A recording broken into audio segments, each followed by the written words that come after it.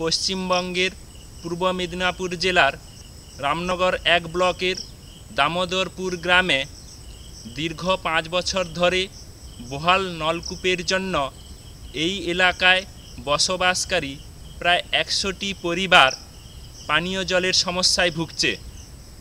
আমাদের গ্রামে জলের সমস্যা চলছে পানীয় জলের। তাহলে আপনাদের গ্রামে কি নলকূপ নেই? হ্যাঁ আছে একটা খারাপ হয়ে আছে।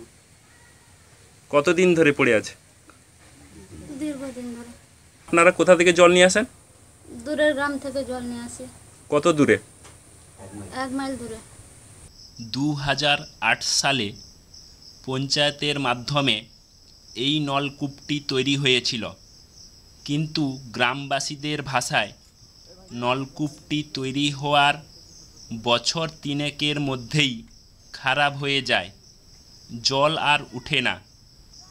প্রচুর সমস্যা সমস্যা বলতে শীতকাল থেকে গ্রীষ্মকালে একবারে জল পাওয়া যাচ্ছে না। তার মানে আপনাদের গ্রামে কি কোনো নলকূপ নেই? হ্যাঁ একটাই আছে। এখান থেকে কি জল পাওয়া যায় না? না সেখান থেকে জল পাওয়া যায় না খারাপ হয়ে পড়ে আছে। এরা এখন পানীয় জলের সংকট মেটাতে প্রায় এক কিমি দূরে জগদীশ পাড়ায় অপর একটি নলকূপ থেকে পুরুষরা সাইকেল বা মোটর বাইক করে জল নিয়ে আসেন। তাহলে এই সমস্যা আপনারা কীভাবে মিটান? এই দূর থেকে এক কল থেকে এক মাইল দূর থেকে জল আনতে হয় দিয়ে সমস্যা মেটানো হয়। কারা নিয়ে আসেন? এই পুরুষরা গিয়ে সাইকেল গাড়ি করে যায় জল নিয়ে আসে। আপনারা কি জলের জন্য কোনো আবেদন করেছেন? হ্যাঁ আবেদন করেছি। ওই প্রধানবাবু অঞ্চল প্রধানের কাছে গ্রামের সদস্য ছিলেন উনি তার কাছে আবেদন করেছি। তারা বলছে এমনি টুকিটাকি সারিয়ে দিয়ে যাচ্ছে আর এক মাস পরে আবার খারাপ হয়ে যাচ্ছে।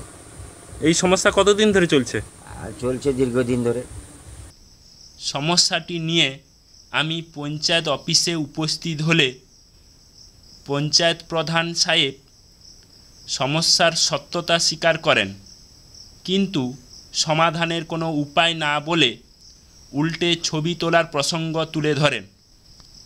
ভিডিও দেখে সকল দর্শককে অনুরোধ করছি, এই সমস্যার শীঘ্র সমাধানের জন্য এলাকার বর্তমান ভারপ্রাপ্ত পঞ্চায়েত প্রধান মাননীয় অতুল প্রসাদ পাত্রকে নয় পাঁচ ছয় চার তিন শূন্য দুই শূন্য আট তিন মোবাইল নম্বরে ফোন করে চাপ সৃষ্টি করুন।